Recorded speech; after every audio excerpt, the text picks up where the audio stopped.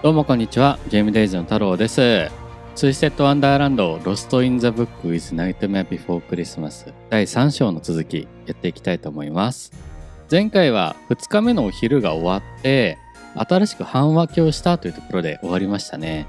どんな感じで各グループ作業を進めていくんでしょう？楽しみです。共同アレンジメントのここですね。授業を回さないとちょっとストーリーが開放しなかったので、今回はレオナ、ジェイド、アズール組。ここ行きましょう。レオナ、ジェイド、アズール組だっけ？ジェイドとアズールは、あれだよね。見て回る人たちだよね。まあ行きましょう。紳士とか霊とか。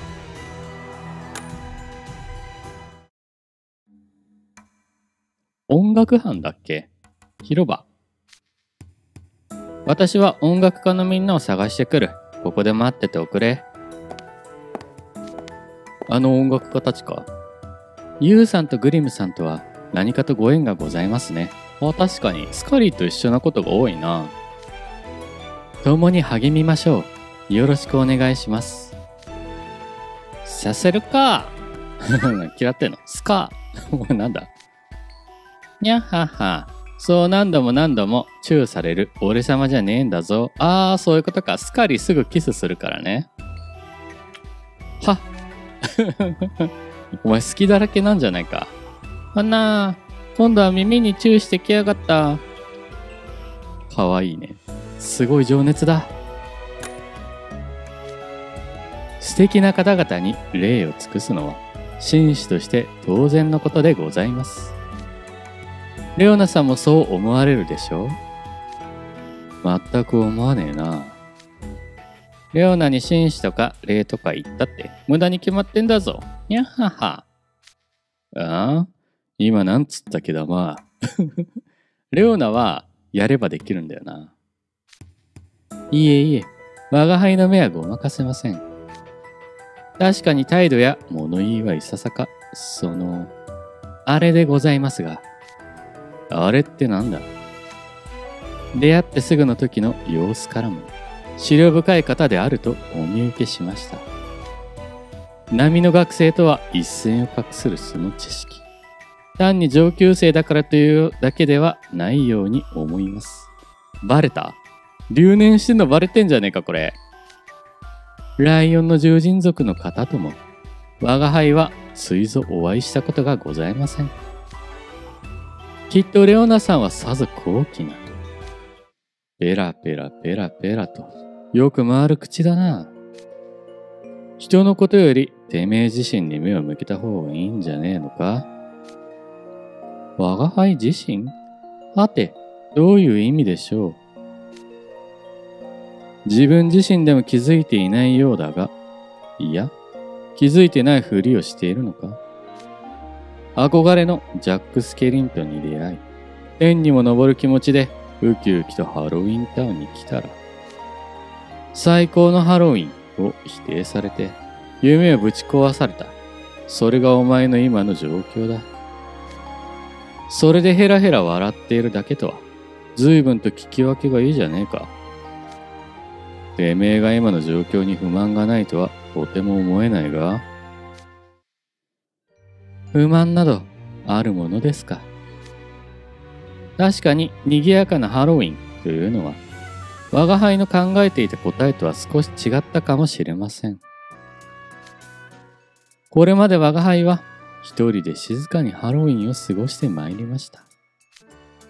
村の者たちも皆そのように、厳かなハロウィンを尊んでおりましたので、それが普通のことだとばかり。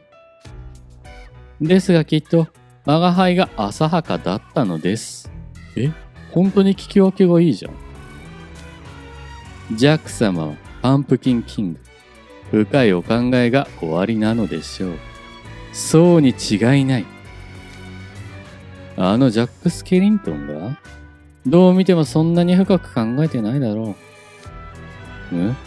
そんなことはございません。ユウさんもジャック様は資料深い方だと思われますよね。おい、巻き込むな。ここに巻き込むな、俺を。ああ、ああ、ああ、もう大変だ。うーん。あー、あんま思わないかも。ごめんね、ジャック。そうだよな。てめえがまともな感覚を持っててほっとしたぜ。なんと、ご理解いただけず残念でございます。ですが大丈夫。誤解を解消すべく、何時間でも何日でもご説明して差し上げますとも。あいつの言うことをまともに聞くなよ、言う。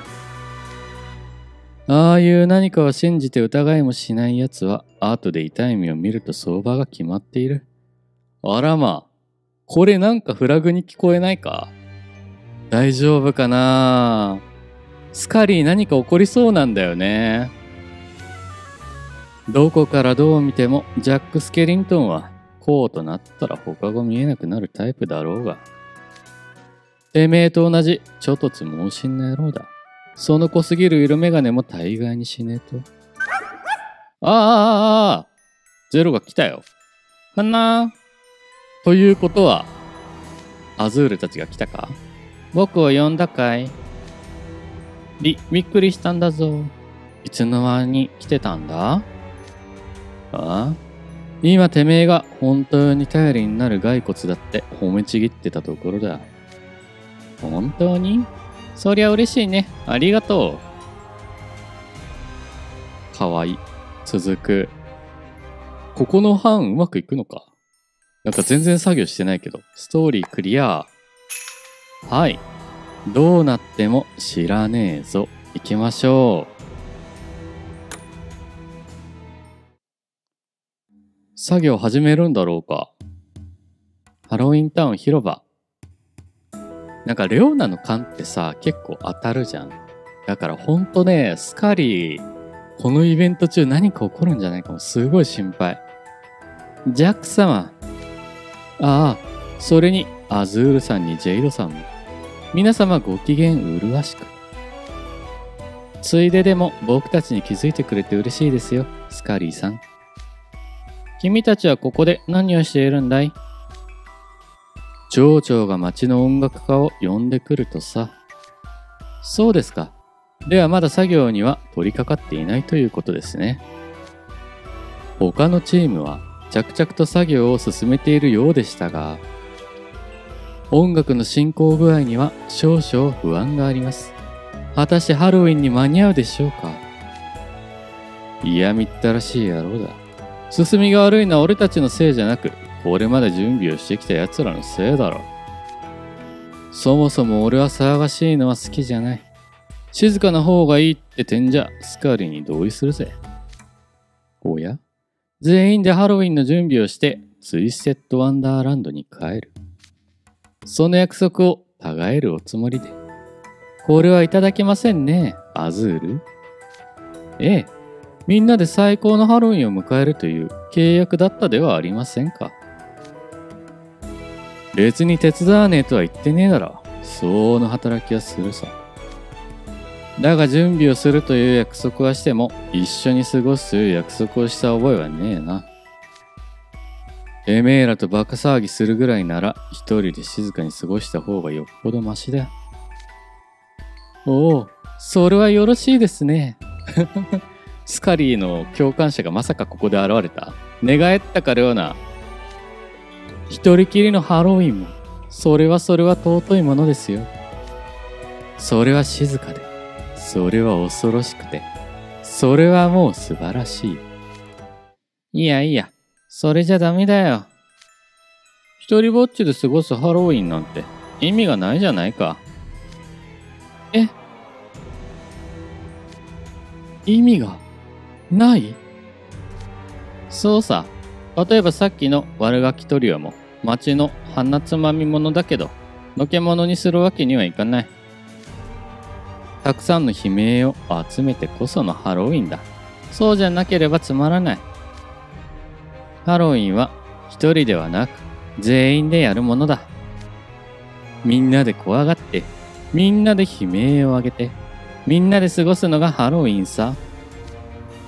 スカリーがびっくりしてるよ。スカリー君が固まってしまいました。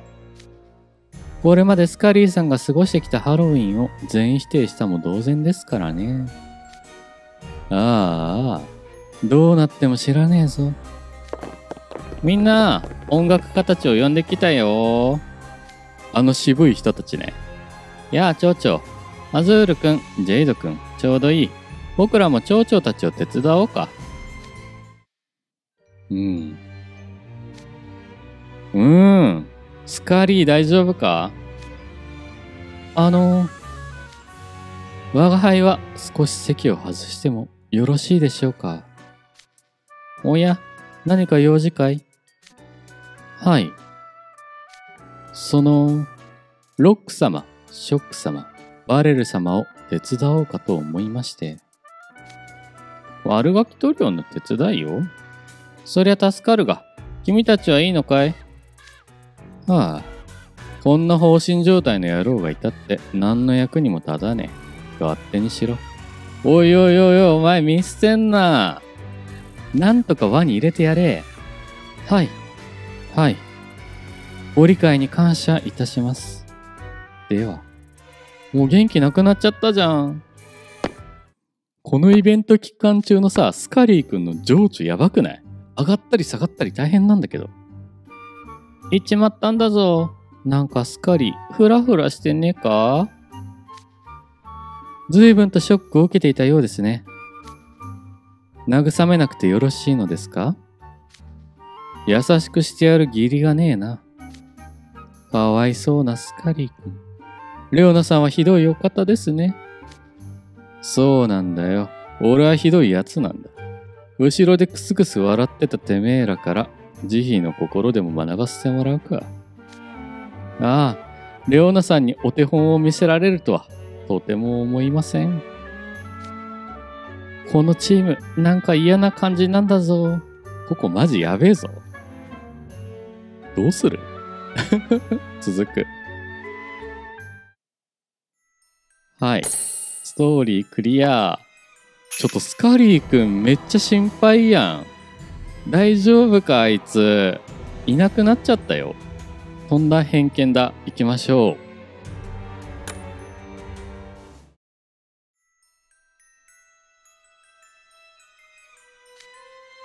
さて、ここからはいよいよ音楽作りだ。おう。どんな音楽ができるかね。ささ、ハロウィンが盛り上がる曲を頼むよ。え？え、俺たちに丸投げ？おい、頼むよってのはなんだ？作曲をさせるためにプロの奴らを連れてきたんじゃないのか？わしらは演奏のプロだが、作曲のプロではないからのしかも知らない世界の音楽など作りようがないわい。この子供たちに作ってもらうのが一番手っ取り早い。こりゃまずいぞ。音楽終わったかもしんない。なるほどね。確かに君たちの言うことにも一理ある。ねえよ。わざわざ呼んできた意味がねえだろうが。作曲ですか。あいにく僕には経験がございません。僕もです。彼らと同じく既存の曲を弾くことはできるのですが、じゃあこの既存の曲を弾いて、こんな感じで、みたいな、言ったらどうかな？人魚ってのはお歌が大好きな奴らって聞いたぜ。そう尻込みせず、ぜひとも挑戦していただきたいところだ。人魚全員が同じ趣味思考をしているとお思いで、レオナさんと回ろう方がとんだ偏見だ。人魚にももちろん歌が苦手なものや特に好まないものもいます。難しい作業を押し付けられても困りますよ。もっとも、レオナさんの言うことも間違っているわけではありません。音楽が嫌いという人魚はめったに見たことがありませんね。えー、そうなのか？ええ、音楽は海の中では最もポピュラーな娯楽ですから。海か。それならアンダーシーガールも音楽が好きなのかな？今度聞いてみないといけませんね。僕たちの話ばかりになってしまいましたが、そもそもレオナさんはどうなんでしょうか？どうってのは？いえすみません。歌っているイメージが全くこれっぽっちもみじんもなかったものでもしかして歌の話をすること自体遠慮すべきかと思いまして。ああもしやものすごい音痴でいらっしゃるとか。気が利かず申し訳ございません。ほらジェイド。そんなにはっきりと言っては失礼ですよ。こいつらマジ面白いな。えレオナって音痴なのか？ほらもうグリムがすぐ信じちゃってよ。レオナ怒るよ。はいはい。皆さんご心配どうも。ありがたいことに特に困ったことはねえよ。レオナやっぱ聞かないかこいつらの攻撃。ではグリム君やユウさんとどちらが音楽の成績が上なのか気になりますね。え俺様の方が上に決まってるもんね。辞退します。グリムに任せよう。面白い曲ができるかもしんねおいおい戦う前から逃げるなよ。やってみなきゃ勝敗はわからないぜ。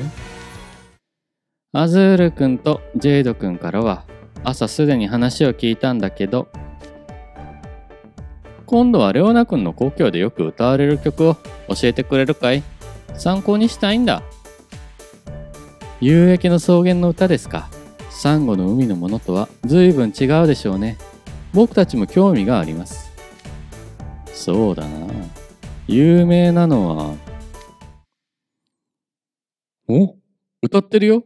ココナッツがたくさんなってる。ティリリリリー。プー。お前笑うなって。りょうなさんがちゃんと歌ってくれたんだから。なんだそれ。変な曲なんだぞ。なあ、お前らもそう思うだろ？ここ聞きたかったなどんな曲だったんだろう？おいおい、こいつらの反応なんだ？揺れてるヤシの木？ルンルンルン。え？有名？なんだなんだなんだなんだこれ。大きいのも、小さいのも、中くらいのも。え？え？レオナとアズールとジェイドが一緒に歌ってる？なんだ？これ何？昔めちゃくちゃ流行った曲みたいな。続く。どういう展開？わけわかんないんだけど。え？歌一つ取っても行きましょ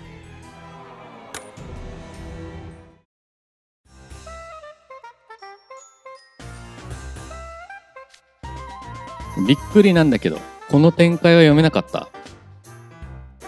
いやいや、歌ってんだけど、3人で。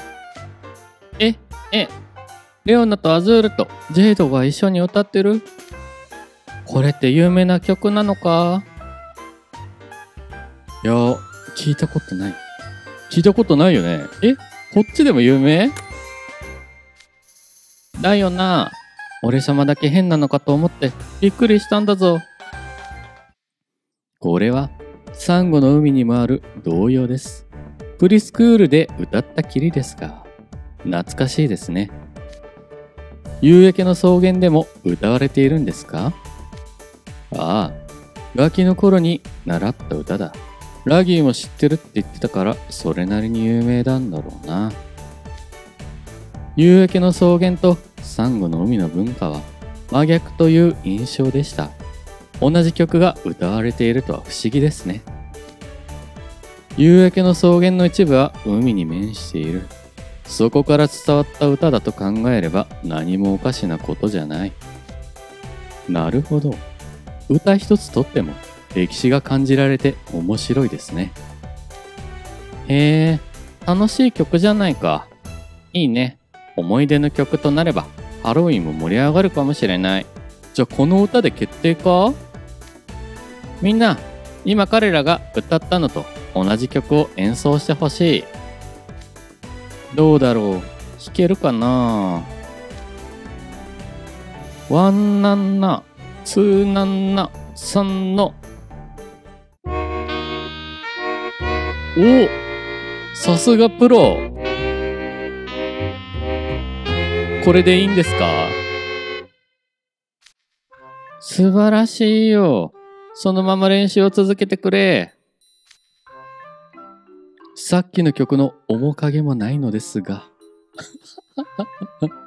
ダメじゃん。全然ダメじゃねえか。聞いてるだけで悲しい気分になってくるんだぞ。やめろ、スケリントン。気分が見える。そうかい午前中にセベク君が教えてくれた曲もこんな感じだった気がするけど。うーん、そうだったかな。いくら歌っても勝手に怖い曲に変えられてセベックが切れてたんだぞ。もうじゃああいつらはコントロール不可ってことでもう任せるしかないんじゃない？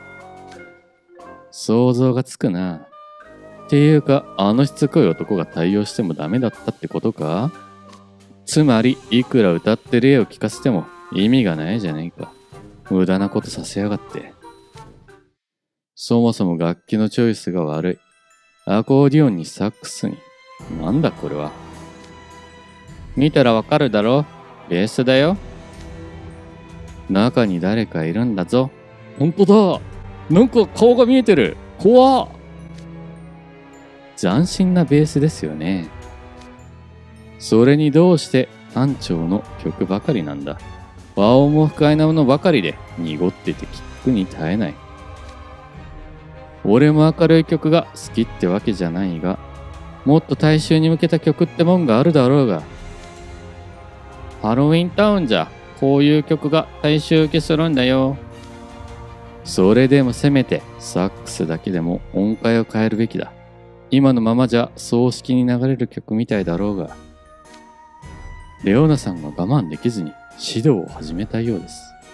案外音楽にはうるさい方なのかもしれませんね。すごいさ、なんか指示の出し方が音楽をやってる人の出し方で的確な気がするね。歌もお上手ですし、嫌ってはいなさそうだ。意外な一面でした。レオナさん、今度、モンストロラウンジでその才能を発揮しませんか？もちろん対価はお支払いしますよ。それは素敵ですね。レオナさんが歌を披露するとなれば、お客様がたくさんいらっしゃるでしょう。ああ、いいぜ。対価はてめえらがマジフトで俺たちサバナクロウの相手をすることだ。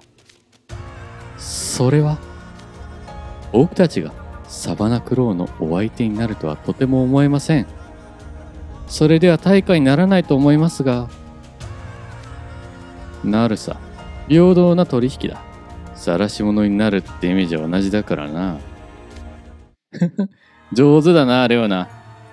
音楽作りも順調のようだ。いいね、いいね。ハロウィンタウンとツイステッド・アンダーランドが力を合わせればきっと最高の曲が作れるよ